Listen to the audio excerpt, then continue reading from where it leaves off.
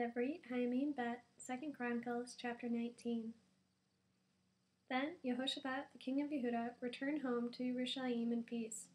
Jehu, the son of Hanani, the seer, went out to meet him and said to King Jehoshaphat, Should you help the wicked and befriend those who hate Adonai?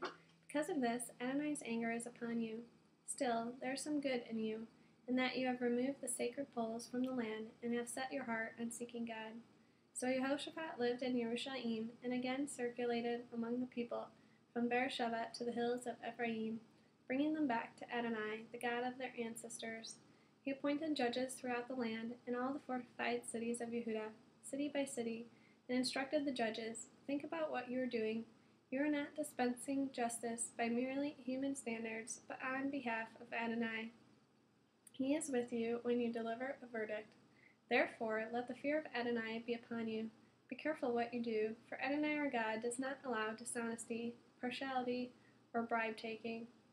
In Jerusalem, Jehoshaphat appointed some of the Leviim, Kohanim, and the clan heads of Israel to judge in matters concerning Adonai and in civil cases.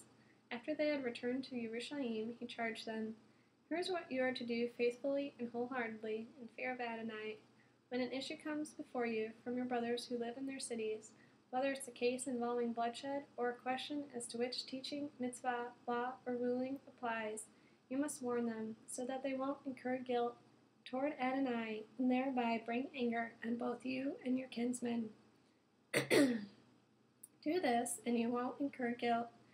Amaryahu, the chief Kohen, is over you in all matters concerning Adonai and Zabadiah, the son of Ishmael, chief of the house of Yehuda, in all the king's matters. The officers of the Leviim are at your service. Be strong and act, and may Adonai be with the good.